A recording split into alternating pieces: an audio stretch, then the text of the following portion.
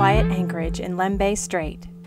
The area is known for its world class muck diving. During our time underwater, we see frogfish, mimic octopus, and other bizarre creatures, many of which we'd never seen before. It's early in the morning. The water is like glass as we slowly slip away from our Lembeh Strait anchorage. The weather forecast looks favorable, and we should have 8 to 15 knots of wind on a broad reach for the entire trip. Well, it's another early morning uh, departure this morning. We are leaving the fascinating Lembeh Strait this morning in Sulawesi, Indonesia, on our way to Halmahera Island as we head out up to Palau. So we'll stop for a couple nights, maybe one night in an anchorage in Halmahera up north, and then we will continue on to Palau.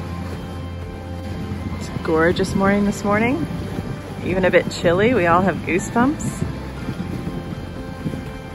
It's probably 80 degrees, but we're all quite cold. I think our blood has definitely thinned out. We no longer have that thick hardy Colorado blood that can withstand cold temperatures.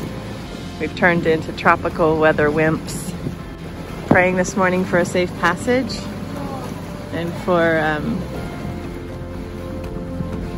smooth entry into Palau in the next couple, uh, in about in about a week. And um, yeah, off again. 150 miles to go. We're doing uh, eight, eight and a half knots, but the wind's going to die down. So we're going to have that much wind today. Maybe, maybe we'll get lucky, and the gribs will be wrong. Yeah, We'll be. They're, al- they're always wrong. It's just if they're wrong in the right direction for us. If they're wrong in the right way. right way. Speaking of wrong, in the wrong way, What? how was your checkout yesterday? Wrong. Yeah, we So would not wrong. recommend people clearing in or clearing out of Bitung, uh, North Sulawesi. It's a long Those story. guys were They're crooked. sleazy. Very sleazy. Immigration was sleazy. We got asked for money. Customs was sleazy. bribery. Bribery. Some Take, guy, one of the guys said, "No pay, no clearance." yeah, no Seriously. No pay, no clearance. That was in immigration. I refused to pay. Long story short, um, we got we left. I took a photo of him, and I was looking up the anti-corruption group in Indonesia to report the guy. I was so ticked off. But anyway, just very sleazy people in And then- Bitung. Do not come to Bitung to check in or check out. They're sleazy. And we've never had a problem in two years of Indonesia. Everybody's been wonderful. Yes. Immigration, customs. This that. is we have had across the board. experience. Otherwise, Otherwise, it's been fantastic, but these guys here are real jerks, so I wouldn't recommend it. Yeah. Leaves a bad taste in your mouth Yeah. as we leave. So it's kind of a bummer. It's like a sad way Yeah. to leave the country. But we're happy to leave. I We're mean, happy to leave. happy to leave these guys, but not happy to leave. The diving was great. Anyway, so we're on our way, and that's where we're heading, and we hope to uh, have some good sailing and uh, good weather as we head up and start dodging the typhoons.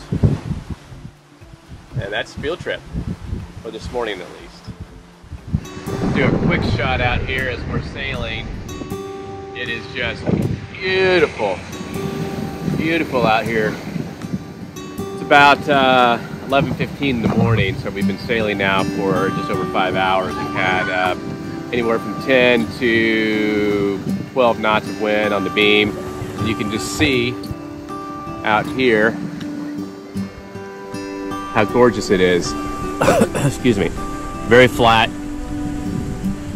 You can see the ripples. There's some ripples that you'll see out on the horizon. Maybe you can see them or not. That's actually current. So the wind's the same. It's just there's uh, wind against current, so pr- it, pr- it produces some sort of a white cap chop. But we're kind of in the middle here of this little uh, eddy of sorts with the current, and it's just absolutely gorgeous. Got our code zero up with our main, and it is just very nice sailing right now on field trip. And we're fishing, but we don't have any fish just yet. We're hoping to snag a yellowfin tuna for some sushi, but uh, so far not any luck. But that's we're trying. And way back on the horizon, back there, our friends uh, Elimite. They're heading the same spot we are. Beautiful.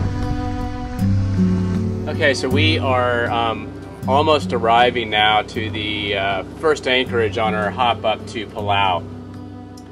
I thought I'd spend a couple minutes just showing you exactly how aboard Field Trip we um, identify where we, we want to anchor and also um, how we uh, sort out the uh, satellite imagery using, in our case, uh, SAS Planet. And we'll do a whole a whole nother video on SAS Planet and show you the details. But the bottom line is, I wanted to show you a little bit more in detail just exactly how we um, establish our anchorages.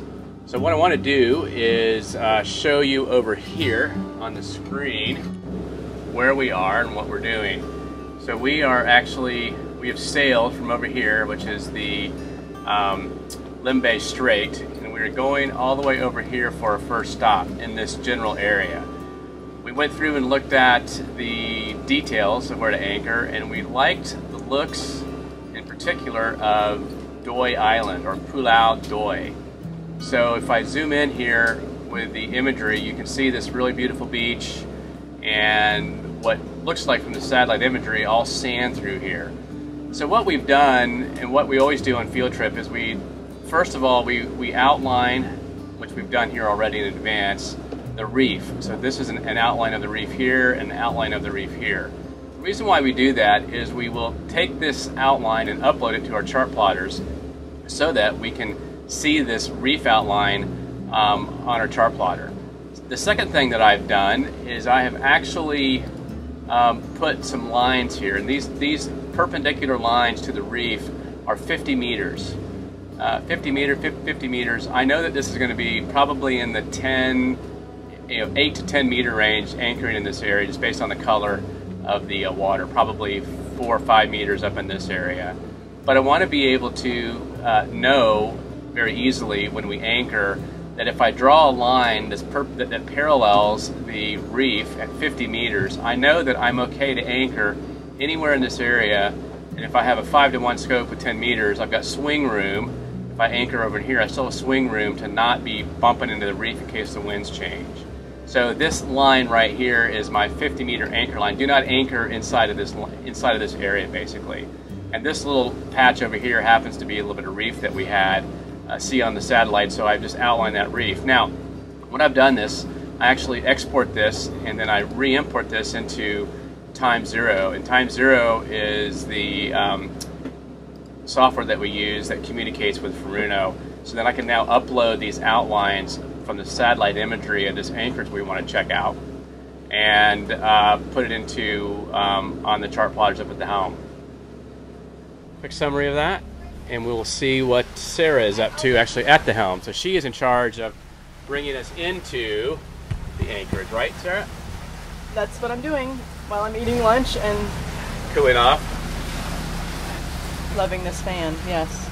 Michael is showing me what he did for his game time today. Okay.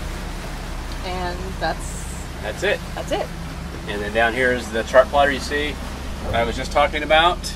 And you can see as I scroll down and zoom in, you can see the waypoints that we've uploaded that are on our chart plotter and the anchoring area which is right in there.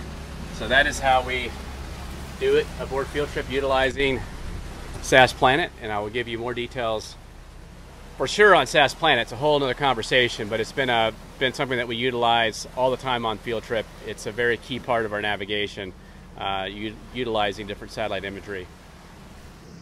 This happens to be the point, and it's a beautiful view of our arrival to our uh, first anchorage as we head up to Palau.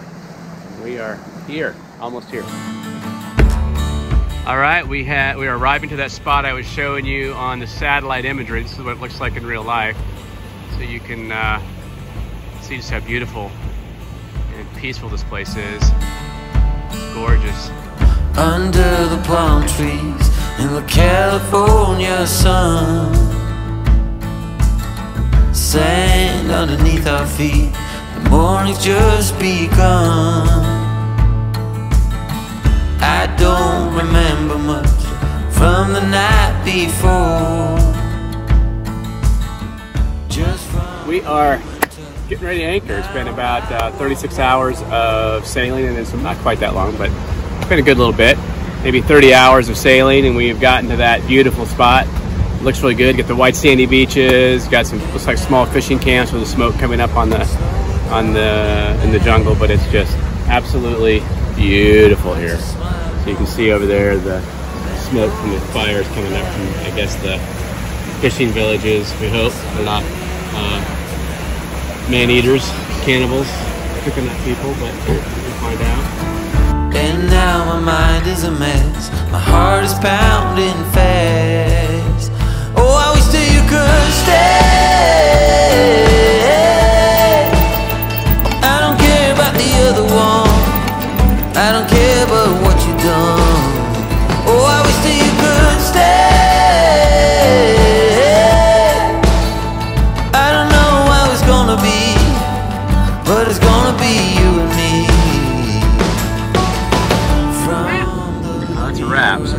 Hard, we're at low tide. The closest we're going to get to the uh, to the reef, and it's perfect. So it's and the wind doesn't blow this way anyway. But